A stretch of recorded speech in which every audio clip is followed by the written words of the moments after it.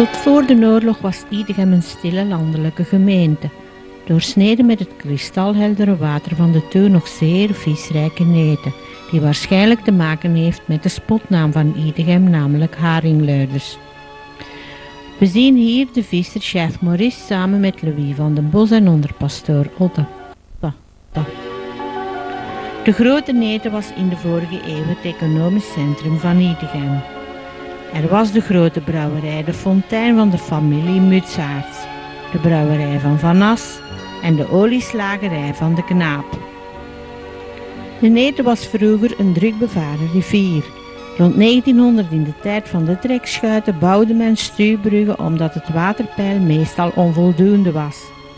Het scheepvaartverkeer verliep eerder moeilijk op deze rivier.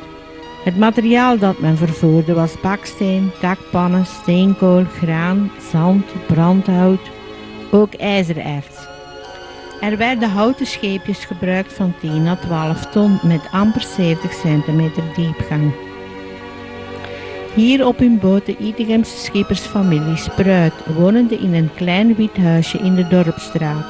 Het schippersleven kende een keihard bestaan. De overzetdiensten waren van groot nut voor de plaatselijke bevolking, maar ze hadden tevens een folkloristische charme. Uiteraard moest men hiervoor betalen.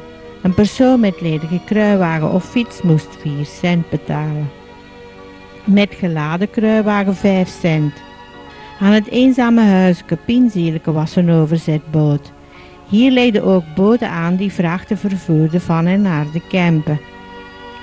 Hier kon men verpozen bij een lekker pintje bier. In 1964 is het huisje afgebroken en verloor Idegem een landschappelijk waardevol agrarisch gebied.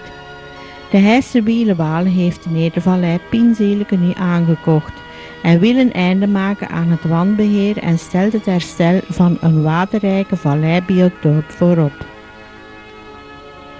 Aan de fontein stond in de 19e eeuw reeds een houten ophalende brug. In 1820 werd een nieuwe afdraaiende brug gelegd.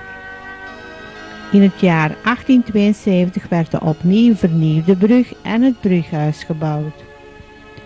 Geregeld trad de rivier buiten haar oevers in de winter. Wekenlang kon het water in de beemde blijven staan. Wanneer dan de vorst neerstreek, kon er op de beemde geschaatst worden. Ook de neten zelf vroor regelmatig dicht.